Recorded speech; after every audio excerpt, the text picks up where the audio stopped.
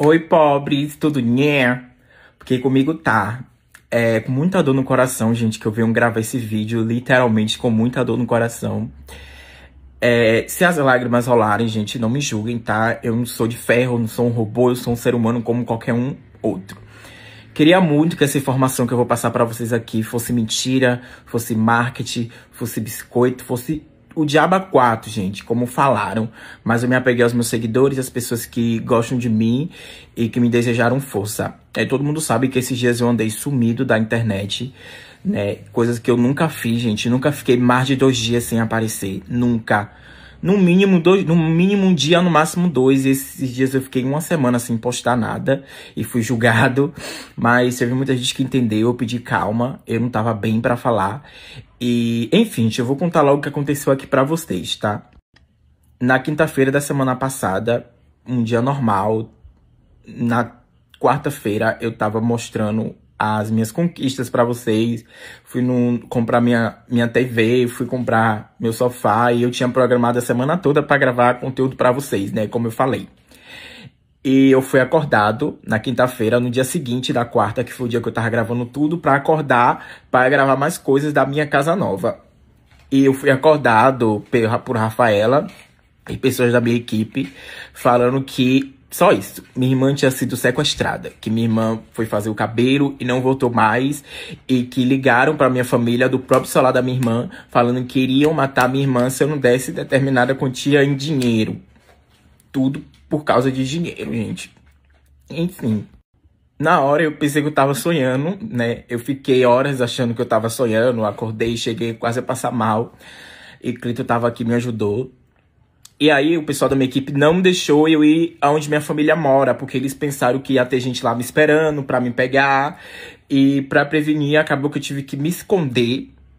Infelizmente, me esconder, minha família em desespero, manhã ligando, gritando.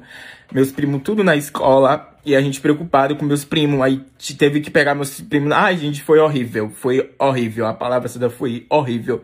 E eu não sabia se era verdade ou não o que estava acontecendo com minha irmã. E enfim, gente. Aí eu liguei, né? Me ligaram, na verdade, né? E quem atendeu foi Rafaela, porque eu não podia falar, porque eles disseram que só iria falar se fosse comigo. Aí eu vi a voz do bandido, ele ameaçando o tempo todo, xingando, falando que iria, né, acabar com a vida da minha irmã. E a gente não ficou sem saber se era verdade ou não. Até que, é, pelo WhatsApp, né, da minha irmã, que eles estavam com o celular dela. E a gente teve várias. Passou tanta coisa na nossa cabeça, gente, que vocês nem imaginam. Aí podia ser várias coisas que a gente não sabia se era verdade ou não, se era um golpe, se tinham clonado o celular dela. Até que eles mandaram uma foto da minha irmã amarrada, espancada, que foram horas batendo nela. E ela contou que ela teve que fingir desmaio para eles parar de bater nela. E por algum milagre, graças a Deus, gente, minha família tava em desespero, manhã gritando o tempo todo, todo mundo gritando, e eu só orava para Deus trazer minha irmã paz e segurança e por algum milagre, gente, que eu creio que foi um milagre, porque eu não sei o que teria acontecido com minha irmã. Ela conseguiu fugir, tá? Graças a Deus, minha irmã tá bem, tá segura, minha família também tá bem, tá seguro, tá, gente? Eu não posso entrar em mais detalhes do que aconteceu aqui para vocês, tá? Queria muito chegar aqui e falar que era marketing, que era biscoito, que era mentira, mas infelizmente eu e minha família ficou sem saber o que fazer durante dias, com medo. Esses dias todos eu fiquei com minha família, não saí de casa. Meus amigos com medo também, Rafael e Rangel. Todo mundo com medo, gente. É, essa é a verdade. E aí, é isso, gente. O que aconteceu foi isso. Eu não posso entrar em mais detalhes do que aconteceu. A gente tá sem saber o que fazer ainda. A gente não sabe quem são essas pessoas. Eu mesmo não tenho noção de quem sejam essas pessoas. Mas eu creio que vai tudo se resolver, gente. E eu não posso entrar em mais detalhe aqui para vocês. E tô falando isso em respeito aos meus seguidores e para dizer para vocês que eu tô bem, tá, gente? Mediante a situação, eu tô bem, tá? Vai tudo passar, vai tudo se resolver. E minha família também tá bem, tá, gente? Graças a Deus. Foi um susto muito grande pra gente. Mas eu tenho fé em Deus que vai tudo ficar bem logo. A gente não chamou a polícia, que a gente ficou desesperado. Minha família falou que não era para chamar, porque eles deram 10 minutos, que iam matar minha irmã.